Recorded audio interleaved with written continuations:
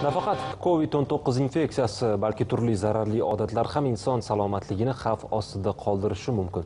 Giyohvandlik singari illatlar esa shunchaki salomatlikka jiddiy ta'sir qilib qolmasdan, insonning hayotiy faoliyati izdan chiqishiga sabab bo'ladi. Shu bois giyohvandlik va uning savdosini oldini olish bo'yicha kurashuv e, ishlari olib borilmoqda.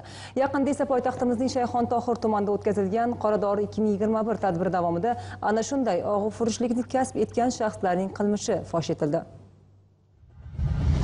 Joriy yilning 22 may kuni poytaxtning shayxontohur tumanida olib borilgan qoradori 2021 tadbiri davomida fuqarolardan birining yashash xonadoni ko'zdan kechirilganda hovlining to'silgan bir qismida taqiqlangan kannabis o'simligi yetishtirilayotgani aniqlandi.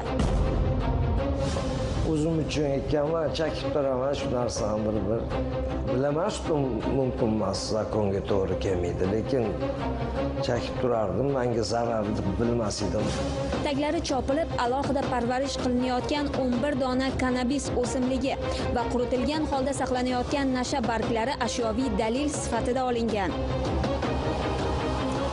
Bu narsani foydasi yo'q vaqting sog'lig'ing obro'ying ketadi kuching do'st dushman boshqalar oldida ham yaxshi emas.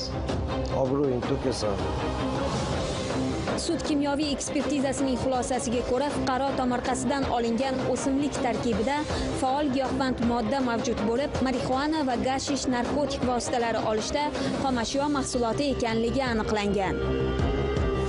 Bu holat yuzasidan shayxontohur tuman ichki ishlar organlari faol oqlash boshqarmasi huzuridagi tergov bo'limi tomonidan o'zbekiston respublikasi jinoyat kodeksining ikki yuz yetmishinchi moddasi birinchi qismi hamda e, ikki yuz yetmish oltinchi moddasi ikkinchi qismi e, a bandiga asosan jinoyat ishi qo'zg'atilgan e, bunda buni sababi sifatida e, bahodir ismli shaxsning ushbu giyohvandlik vositalarini yetishtirganligi hamda saqlab kelganligi ushbu 11 tup transport vositalarining e, miqdori e, va ya'ni vazni tekshirilganda o'sha ko'p miqdorda berganligi aniqlanganligi sababli ikki yuz yetmish oltinchi modda ikkinchi qismi a bandi bilan e, kollokatsiya qilingan. Hozirda mazkur holat yuzasidan tergov harakatlari olib borilmoqda.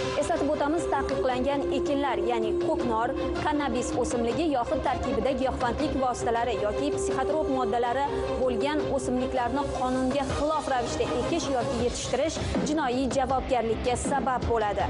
Jinoyat kodeksining tegishli moddalariga ko'ra ushbu jinoyatni sodir etganlar 5 yilgacha ozodlikdan mahrum qilish bilan jazolanadi.